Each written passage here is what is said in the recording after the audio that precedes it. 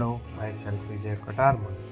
Uh, six months ago, one of my friends, whose name was Ramal Mehta, and uh, he was inspiring me and uh, request to me for joining the Fluent Life for better fluency in your English.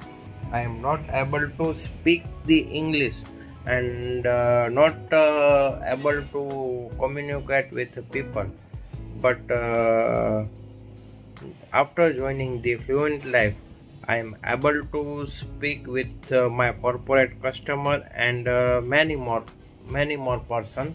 And uh, that uh, all kind of the things is possible due to Fluent Life